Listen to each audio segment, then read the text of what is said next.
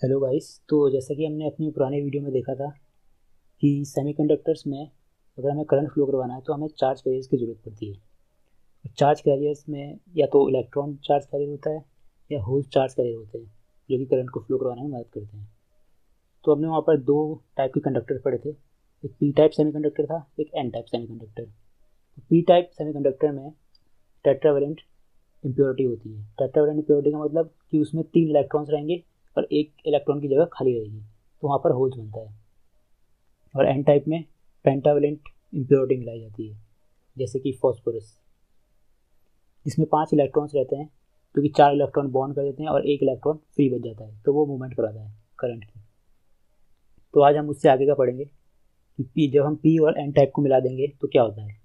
तो यहाँ पर हम डायग्राम में देख सकते हैं कि ये पी टाइप सेमीकंडक्टर है, जिसमें होल्स हैं। हमने डोपिंग के थ्रू इसमें इम्प्योरिटी मिलाई इसमें टेट्रावेलेंट और एन टाइप में पेंटावेलेंट तो जब हम इन दो, दोनों सेमीकंडक्टर्स को आपस में मिलाते हैं तो होता क्या है कि जो इसके इस साइड के होल्स हैं पी टाइप के होल्स और एन टाइप के इलेक्ट्रॉन्स ये आपस में कंबाइन हो जाते हैं. ये इलेक्ट्रॉन इस होल में चला जाएगा यहाँ पर एक होल बच जाएगा. मतलब पॉजिटिव चार्ज एक आयन बन जाएगा इधर पे. तो ये जो है ऐसा हो जाएगा कुछ इस टाइप में. मैं अभी आपको करके दिखा देता हूँ. ये इलेक्ट्रॉन जब इधर जाएगा तो यहाँ पे पॉजिटिव चार्ज आ जाएगा. पॉजिटिव और जब ये होल यहाँ पे भर जाएगा, यहाँ पे इलेक्ट्रॉन आ चुका है तो अब यहाँ पर नेगेटिव चार्ज नेगेटिव आयन आ जाएगा। और ये सिर्फ़ इसी लेयर के लिए होगा, ये पतली सी लेयर के लिए। इसके बाद जैसे ही क्योंकि इसके बाद जैसे ही एक बार इलेक्ट्रॉन्स इधर चले जाएँगे और होल्स इधर आ जाएँगे तो यहाँ पर एक इलेक्ट्रिक फ़ील्ड बन जाएगी। और ये इलेक्ट्रिक फ़ील्ड फर्दर होल्स और इलेक्ट्रॉन्स का मूवमेंट को रोक देगी। तो इस रीजन को हम, ये जो रीजन बन चुका है इतना इतना इस रीजन को हम बोलते हैं डिप्लीशन रीजन। Depletion region. तो ये इतना ही पतला रहता है। और इसके बाद कॉन्सेप्ट आता है फॉरवर्ड बायस और रिवर्स बायस का। तो हम बात करते हैं फॉरवर्ड बायस की। तो एक बात मैं और आपको बताना चाहूँगा कि जब हम सेमीकंडक्टर लेते हैं सिलिकन का, जब हम सिलिकन को एज सेमीकंडक्टर यूज़ करते हैं पी टाइप और एन टाइप इसका बनाते हैं तो ये जो डिप्लीशन रीजन होता है, जिसको हम पोटेंशियल बैरियर भी कहते हैं पोटेंशियल बैरियर तो इसका ब्रेकडाउन होता है 0.7 वोल्ट पे सिलिकन के लिए. ब्रेकडाउन का मतलब कि अगर हम इतनी वोल्ट या इससे ज़्यादा वोल्ट देंगे तो ये ब्रिज जो है टूट जाएगा.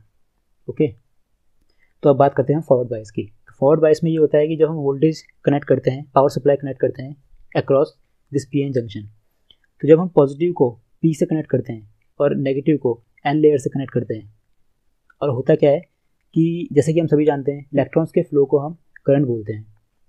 तो होता क्या है इलेक्ट्रॉन्स का फ्लो कहाँ से होता है? नेगेटिव से पॉजिटिव की ओर। करंट का फ्लो हम कन्वेंशली देखते हैं पॉजिटिव से नेगेटिव लेकिन असल में जो इलेक्ट्रॉन्स होते हैं, वो नेगेटिव से पॉजिटिव की ओर फ्लो करते हैं। ये उनका इलेक्ट्रॉन्स का फ्लो होता है रियल में। तो होगा क्या, यहाँ से जो इलेक्ट्रॉन्स जाएँगे, वो इन इलेक्ट्रॉन्स पे जो यहाँ पर पहुँचेंगे तो यहाँ पर और इलेक्ट्रॉन इकट्ठा हो जाएँगे एक्यूमेट हो जाएँगे। तो इलेक्ट्रॉन इलेक्ट्रॉन रिपेल करते हैं, एक दूसरे को धक्का मारते हैं अट्रैक्ट नहीं करते। तो जब धक्का मारेंगे तो ये पुश करेंगे। और ये जो ये बीच में जो दीवार दिख रही है ना आपको, ये इसको और सिकोड़ेंगे। ये धक्का मार मार के उसको और पिचका देंगे। तो इससे क्या होगा?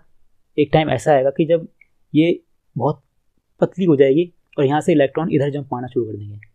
इससे पहले तो जंप नहीं मारे थे, क्योंकि यहाँ पे डिप्रेशन रीजन बन गया था। एक फ़ील्ड बन गई थी। फ़ील्ड के थ्रू फिर क्रॉस नहीं कर पा रहे थे। तो उन्हें कम से कम इतनी वोल्ट चाहिए थी कि ये क्रॉस कर सकें। तो अब जब इन्हें इतनी वोल्ट मिल रही है तो यहाँ पर इलेक्ट्रॉन का रिपल्शन के थ्रू ये इलेक्ट्रॉन यहाँ से जंप यहाँ मार देंगे और ये इधर पर आ जाएँगे। और यहाँ चार्ज इकट्ठा होना शुरू हो जाएगा। तो इलेक्ट्रॉन जब इधर आ जाएँगे तो ये होल्स पे एक्वायर करना शुरू कर देंगे। ये इलेक्ट्रॉन यहाँ आएगा, इस होल को भर देगा, इस होल को भर देगा, इस होल को भर देगा। प्लस जो पॉजिटिव चार्ज है ये यहाँ से इलेक्ट्रॉन खींचने का काम करेगा। तो जब ये यहाँ से इलेक्ट्रॉन खींचेगा तो यहाँ पे नए होल जनरेट हो जाएँगे। ये इलेक्ट्रॉन यहाँ से पॉजिटिव इलेक्ट्रॉन्स खींच रहा है यहाँ पे नए होल जनरेट हो रहे हैं नेगेटिव इलेक्ट्रॉन्स दे रहा है तो यहाँ पे नए नए इलेक्ट्रॉन आए जा रहे हैं। तो इस तरीके से ये जो ओवरऑल जो पी एन जंक्शन है, ये बैलेंस रहता है।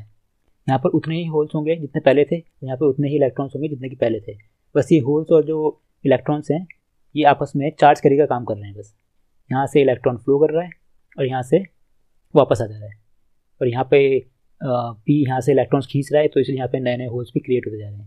तो ऐसा होता है। ये ऐसे काम करता है। तो हम बात करते हैं रिवर्स बायस की। तो मैंने इसी वाले में थोड़े चेंजेस करके इसको रिवर्स बायस बना दिया है। रिवर्स बायस में क्या होता है कि हम पी लेयर को नेगेटिव से कनेक्ट करते हैं और एन लेयर को पॉजिटिव से। फॉरवर्ड बायस में हमने पी लेयर को पॉजिटिव से कनेक्ट किया था। यहाँ पर हमने पी लेयर को नेगेटिव से कनेक्ट कर दिया तो अब हो क्या रहा है कि इलेक्ट्रॉन का फ्लो तो हमें पता है कि इलेक्ट्रॉन का फ्लो होता है नेगेटिव से पॉजिटिव की ओर इलेक्ट्रॉन्स का फ्लो तो जैसे ही इलेक्ट्रॉन्स यहाँ पर जाएँगे तो वो इलेक्ट्रॉन्स यहीं पे इन होल्स में जाके बैठ जाएँगे, ठीक है? तो होगा क्या असल में कि ये होल्स जो है इधर की तरफ़ आना शुरू हो जाएँगे प्लस यहाँ से जो क्या बोलते हैं पॉजिटिव चार्ज है, ये पॉजिटिव पॉजिटिव चार्ज जो है यहाँ से इलेक्ट्रॉन्स लेना शुरू करेगा, क्योंकि इलेक्ट्रॉन्स को जाना तो ऐसे था। तो इसे इलेक्ट्रॉन्स यहाँ पे चले गए, लेकिन पॉजिटिव तो इलेक्ट्रॉन खींचेगा ना अपनी तरफ़। तो यहाँ पहले से इलेक्ट्रॉन थे तो उसने इलेक्ट्रॉन्स खींच लिया अपनी तरफ़। लेकिन एक टाइम के बाद, क्योंकि ये सारे इलेक्ट्रॉन्स इधर आ गए, क्योंकि पॉजिटिव इन्हें धक्का मार रहा है इधर की तरफ़, और नेगेटिव इधर की तरफ़ धक्का मार रहा है तो ये सारे होल्स इधर आ गए। तो अब क्या होगा, बीच में जो ये लेयर थी, ये पहले तो इतनी पतली थी, लेकिन बाद में चौड़ी हो जाएगी। तो अब हुआ क्या, इतनी चौड़ी लेयर हो चुकी है तो अब यहाँ से इलेक्ट्रॉन यहाँ जंप नहीं कर सकते। तो इस मामले में करंट फ्लो नहीं होगा। ये कुछ एक सेकंड के भी लाखवें हिस्से में ये प्रोसेस हो जाएगी कि इलेक्ट्रॉन्स यहाँ पे गए, इसने लिया और यहाँ से इलेक्ट्रॉन्स इसमें आए बस। वो एक सेकंड के एक लाखवें हिस्से तक करंट फ्लो होगा। वो भी बहुत माइन्यूट सा, बहुत छोटा सा करंट फ्लो होगा। उसके बाद करंट फ्लो नहीं होगा। वो भी आपको एक बहुत अच्छा मीटर लेना पड़ेगा जिसमें, जिसके थ्रू आपको दिखेगा कि ये कुछ देर तक करंट फ्लो रहा है इसमें। कुछ देर भी नहीं, बल्कि सेकंड के भी बहुत कम हिस्से में। उसके बाद करंट फ्लो नहीं होगा इसमें क्योंकि ये इलेक्ट्रॉन होल्स को इधर अट्रैक्ट कर रहे हैं और पॉजिटिव चार्ज इलेक्ट्रॉन्स को इधर खींच रहा है।